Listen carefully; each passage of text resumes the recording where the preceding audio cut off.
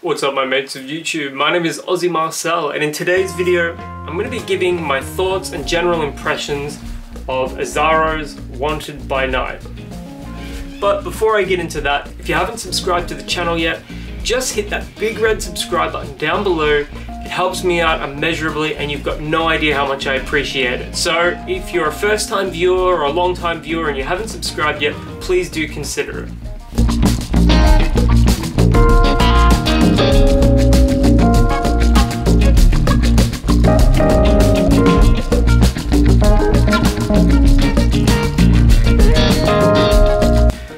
So yesterday before work, I went into Chemist Warehouse and I wanted to pick out a fragrance that I've never worn before. So after a couple of minutes of browsing and making some decisions, I ended up with Azzaro's Wanted by Night.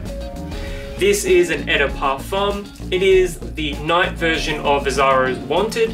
Wanted itself is a pretty close approximation of Paco Rabanne's Invictus. This, however, is the furthest thing from Invictus I can think of. And actually, it reminds me quite a bit of John Varvatos' Dark Rebel and Dark Rebel Rider. It just doesn't have any of that dirty leatheriness that both of those fragrances have. This is like, in my mind, a, a kind of a cleaner take on both of those fragrances. The packaging, I've got to admit, is nice, aside from the tacky cylinder up here. And that sort of design language carries over to the bottle as well. Here we go. I am I am a fan of it, I will admit, but there is a tackiness to it. The fragrance is quite dense, it projects really well, and overall I'm a big fan of the way it smells. Azzaro's Wanted by Night is a unique scent. There aren't too many fragrances out there that smell overly similar to this.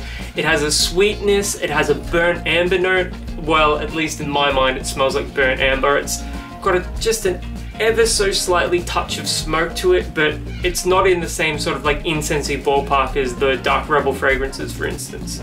There are some citruses up top, and then there's sort of like uh, almost a gourmand quality to it in the mid. It's like a honeyish caramel vibe, and then you've got that burnt amber below it. Performance for this one was incredibly solid. I applied it before I went to work and long after I ended up bartending I could still smell it on and I had to scrub it off in the shower.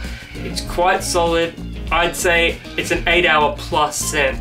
Uh, if you're wearing it on your pulse point, you know where your body generates more heat, I would say it's going to last even longer than that. So two to three sprays is going to be fine. It's going to be plenty. I got a couple of compliments for it, which is always nice. I don't think this sort of scent is going to be the most popular with others. This is slightly more something that you're going to want to wear for yourself.